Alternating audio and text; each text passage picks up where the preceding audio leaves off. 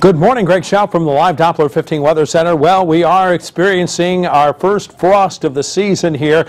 It looks like uh, it is going to be a chilly morning, of course, but by late this morning and certainly into this afternoon, temperatures are going to be uh, more moderate into the upper 50s, so that's not too bad for the day.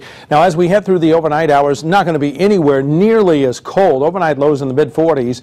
And then as we head into the day on Friday, it looks like we start out with sunshine, but we end the day with clouds, even some showers developing by late in the afternoon. And I'm afraid that's going to be the case for those high school football games as well. And it looks like we are going to continue to see those showers through Saturday. Much cooler temperatures as highs today will be in the upper 50s falling from the upper 50s tomorrow into the 40s by the end of the day. And it looks like mid 40s on Saturday with showers and mostly cloudy on Sunday, highs just in the upper 40s.